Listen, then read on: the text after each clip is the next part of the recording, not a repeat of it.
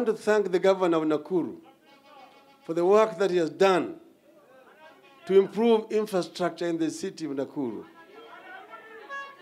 and to ensure that Nakuru is able to provide services to its population.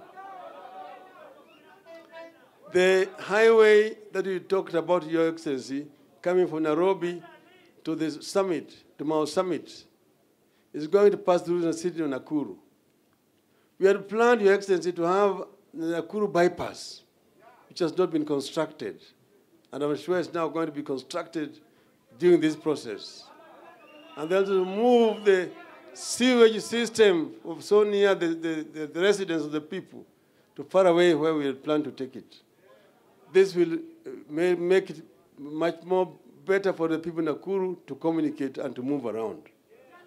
Your Excellency, Nakuru is attracting industries, but we want Nakuru to continue to attract more industries as we promote value addition to goods which are produced in our country so that we can be able to build our, our country. That's why we these days are promoting Buy Kenya, Build Kenya.